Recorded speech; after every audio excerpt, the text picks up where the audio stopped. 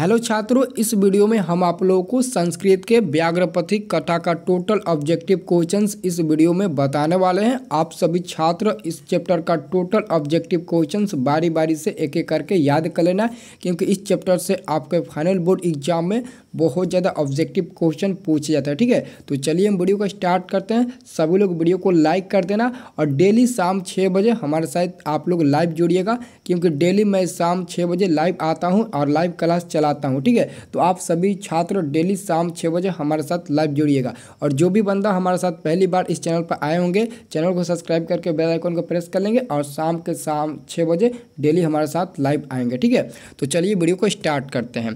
पहला नंबर प्रश्न देखिए। पहला नंबर प्रश्न है कि हितोपदेश किसकी रचना है? हितोपदेश किसकी रचना है? तो आपका आंसर ख नंबर सही हो जाएगा, नारायण पंडित। नारायण पंडित का रचना है हितोपदेश, ठीक है? और व्याक्रपतित कथा के लेखक भी यही है। आंसर आपका ए ख नंबर सही होगा। अगला क्वेश्चन है हितोपदेश कैसा ग्रंथ है? हितोपदेश कैसा ग्रंथ है? तो नीति परक, क्या है? आपका आंसर हो जाएगा नीति परक, आंसर ए नंबर हो जाएगा ख नंबर, ठीक है? दूसरा का आंसर ए नंबर हो जाएगा ख नंबर, ठीक है? अगला प्रश्न है, बाघ कहाँ बैठा हुआ था? बाघ कहाँ बैठा हुआ था? एक्चुअली में अगर व्याग्रपति कथा आप लोग नहीं पढ़ेंगे तो एक्चुअली इसका आंसर आप ए बी सी डी में से कोई भी लगा लगा सकते हैं। देखेंगे तो नदी किनारे, जंगल में, तालाब के किनारे, धान के खेत में, आप लोग ज़्यादा सोच आपका होगा कि जंगल में बाघ रहता है तो जंगल में टिक लगा देंगे। लेकिन एक्चुअली में इसका आंसर जंगल नहीं होगा, बल्कि तीन का सही आंसर क्या होगा?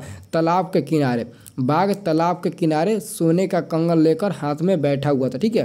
अगला नंबर प्रश्न है कि बाघ के हाथ में क्या था? तो यहाँ पर प्रश्न आ ही गया कि बाघ के हाथ में क्या था? तो आप लोग क्वेश्चन नंबर चार का आंसर देना ए नंबर, ठीक है?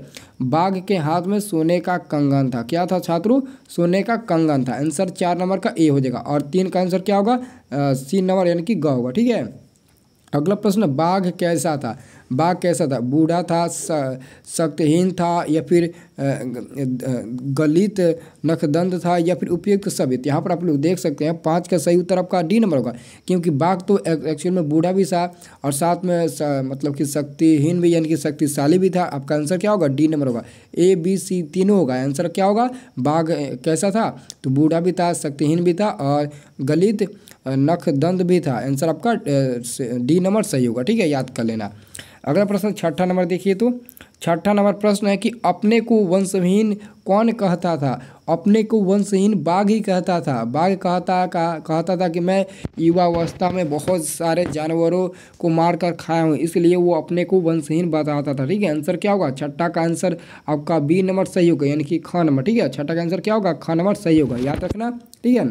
अगला प्रश्न है कि भाग्य नेतृत्व संभवती किसने सोचा? यानी कि इसका अर्थ क्या होता है? भाग्य से ही संभव हो सकता है, यह किसने सोचा था? ठीक है? तो पथिक ने पथिक मतलब कि एक धार्मिक व्यक्ति था, उसका, उसको हम पथिक बोलेंगे, ठीक है? तो पथिक ने ही सोचा था कि भाग्य से ऐसा संभव हो सकता है। जब बूढ़े बाघ ने तालाब के किनारे बैठकर हाथ में सोने का कंगन लेकर बोल रहा था कि, हे पति को इस सोने के कंगन को ले लो। मैं बूढ़ा बाघ इस सोने के कंगन को क्या करूँगा?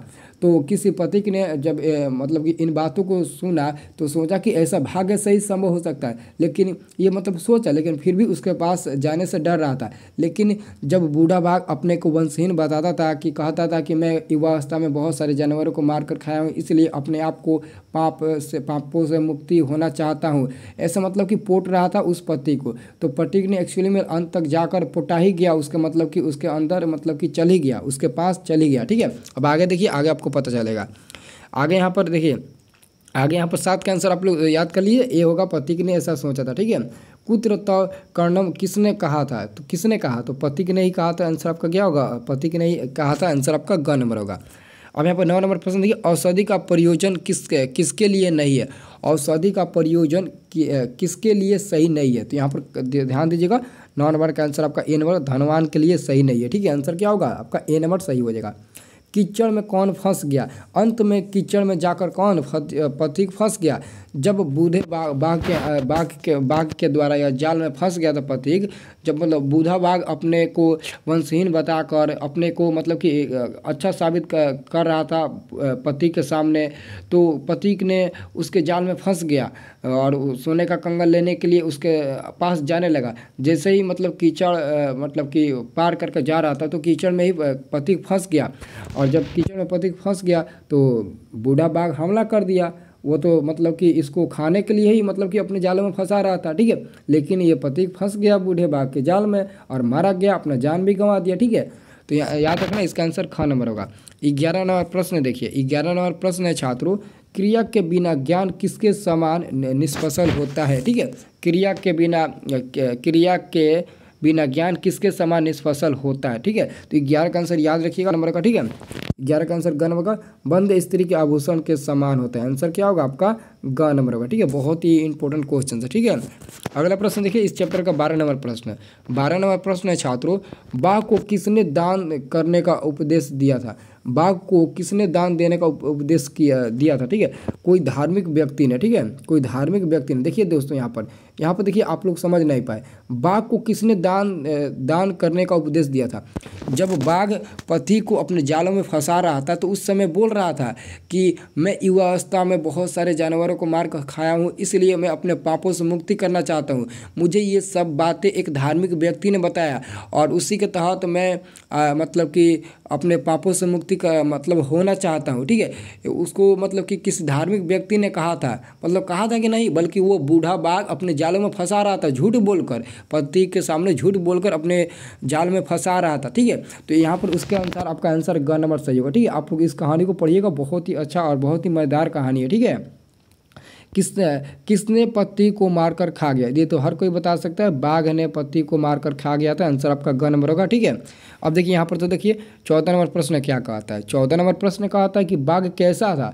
तो बाघ कैसा था? बूढ़ा था, वंशहीन था, नखदंडहीन भी था, ठीक है? तो आंसर क्या होगा? ग नंबर होगा। बाघ तो बूढ़ा भी था, वंशहीन भी था और नखदंड भी था। आंसर क्या होगा? डी नंबर चौदह का आंसर होगा, ठीक है? यानी कि घ नंबर, ठीक है? और अंतिम प्रश्न है कि व्याघ्र पटी कथा से हमें क्या शिक्षा मिलती है? बताइए तो क्या होगा? व्याघ्र पठिक कथा से आपसे क्या शिक्षा मिलती है? तो लोभ पाप का कारण होता है। लोभ क्या होता है? पाप का कारण होता है। लोभ यानी कि लालच पाप का कारण होता है। इसलिए आप लालच मत कीजिए, ठीक है? क्योंकि पति की लालच के कारण ही तो मारा गया था। जब बूढ़ा बाघ अपने जालों में फंसा रहा था कि, हे पति को, इस सोने का कंगन को ले लो। मैं बूढ़ा बाघ इस सोने का कंगन को क्या करूँगा? मतलब कि मेरे पास ये सोने का कंगन आएगा तो मैं क्या करूँगा? मैं बूढ़ा हो चुका हूँ और मैं ज़्यादा दिन जी नहीं सकूँगा। इसलिए आप इस सोने का कंगन कर ले लो। लेकिन पति यह नहीं सोच रहा था कि बूढ़ा बाघ कितने सारे दिनों से भूखा प्यासा था और तुमको खाने के लिए ही वो मतलब कि अपने जाल में फंसा रहा था, ठीक है? तो बहुत ही मज़ेदार कहानी है, ठीक है? तो दोस्तों, कैसा लगा यह वीडियो? हमें कमेंट सेक्शन में ज़रूर बताइएगा, ठीक है? और मुझे उम्मीद है कि यह वीडियो आपको बहुत ज़्यादा पसंद आया होगा, ठीक है? पसंद आया होगा तो वीडियो को लाइक कीजिए और बहुत ज़्यादा सारे कमेंट कीजिए, ठीक है? और अपने दोस्तों के पास इस वीडियो को शेयर कीजिए, ठीक है? तो आप ज़रूर हमें कमेंट करिएगा कि यह वीडियो आपको कैसा लगा, ठीक है? तो चलिए दोस्तों, मिलते हैं नेक्स्ट वाले वीडियो में।